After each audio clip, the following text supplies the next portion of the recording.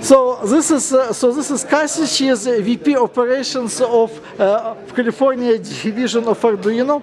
So Cassie, uh, what do you think about children learning uh, how to design using FPGA as an addition to regular Arduino program? Well, uh, think that Arduino running on an FPGA, when you have open access to the RTL code on the FPGA, that it's just like programming if you learn the environment to program it in. So kids can actually design what's inside the chip just as much as anybody else as long as they're given the ability to see what the examples are that they can build from. So teaching children that Yuri is doing, great job. Yes, thank you, thank you. So this is uh, Svetlana who works at Stanford, and she was uh, uh, she was organizing our experiment with teaching children FPGA in Ukraine. So what do you think about it?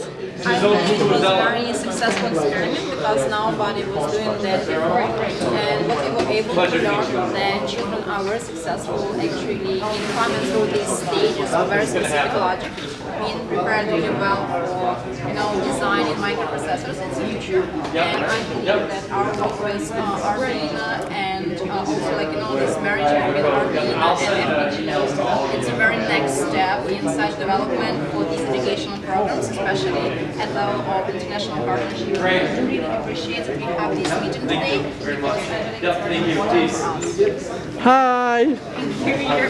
Okay, let's let's let's make uh, let's make a meal. This this. Can I take the camera? Yeah. So so I You guys just stand was, I just was uh, this morning working with some some some first examples uh, uh, this FPGA board, which is which is recommended by Arduino community, which has inside Arduino core, but can be used to put like a, a random logic or like any type of logic design kids can do, and apparently kids can learn how to design. Thank you. Yeah,